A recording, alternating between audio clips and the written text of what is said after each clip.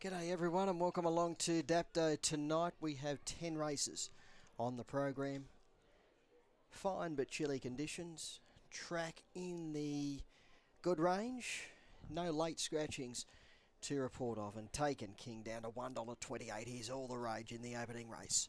Green light switched on. We are ready to go. Race number one. Set and ready.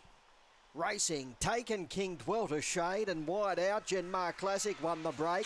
Rolled over and ran to the lead from Lock and Good going to second. Taken King is moving up three deep. They were followed by Fancy Irene. Then Excel Like Fuel and Rockstar Stangus at the tail down the back. Genmar Classic lead. There goes Taken King. Moved up in a twinkling of an eye and dashed right away from Genmar Classic. Lock and Good, Excel Like Fuel. But they swing. It's all Taken King. Opening favourite bolted in. Taken King first, Genmar Classic second, just ahead and looking good, I think. They were followed in by Fancy Irene, Excel Like Fuel, and Rockstar Stangus, one of the tail enders. He's run around 29.9.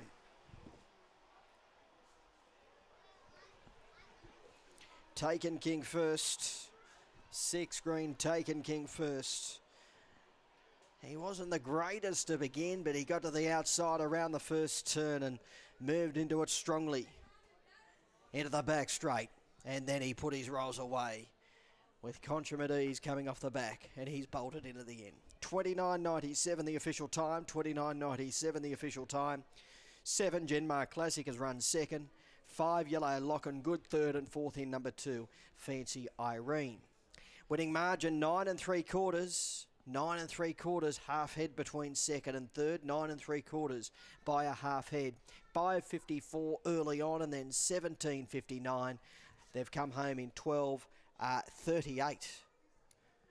29.97 the official time. 12.38 the run home time. Uh, uh, six, seven, five, and two. Taken King a Blue Dog by Fernando Bale at a crack and sort. Owned by Caleb Weeks.